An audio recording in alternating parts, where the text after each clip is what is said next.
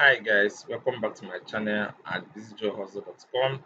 So today I'll be showing you how to get Google Live Chat support in case you have any issue either with your Google Ad, with your Google AdSense, with your Google AdMob, and even YouTube chat channel.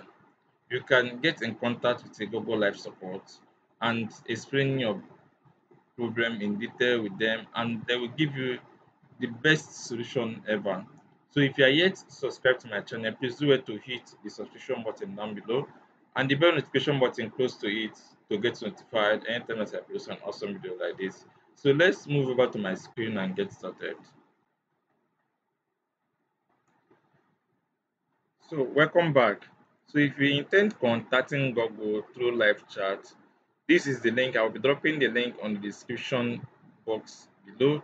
But you can go to support.google.com slash Google Ads slash get help.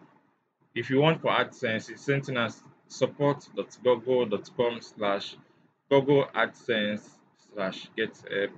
Or if you want for AdMob, it's still the same procedure. So once you get to this page, I'll be dropping the link on the description box below. So first and foremost, put tell us what tell us what we can help you with. So it's just to tell us first thing maybe your ad is suspended. You can just click on ads suspended.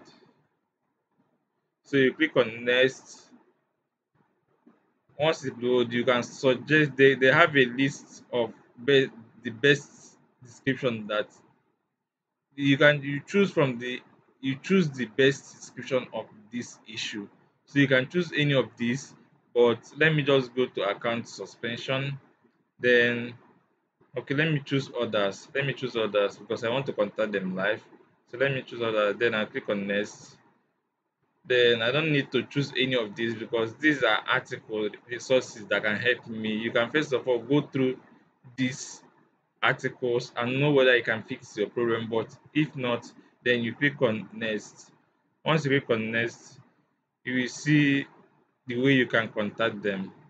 For now they are not the option to chat them live is not open because this is not their working hour. But if this is the working hour then you, you can you will see the option to contact them by chat. So once you click on this chat now as i highlight email then you can also highlight chat during their working hour. As you can see it is not open. So you can just fill in the form as like this you can after filling the form then you click on submit. Once you submit it you will see a live chat. You will see a live chat with google agent. To start chatting with him or her. So this is just how you can contact google live support. So if you are yet to subscribe to my channel please do it to hit the subscription button down below and the bell notification button close to it to get notified anytime as i post an awesome video like this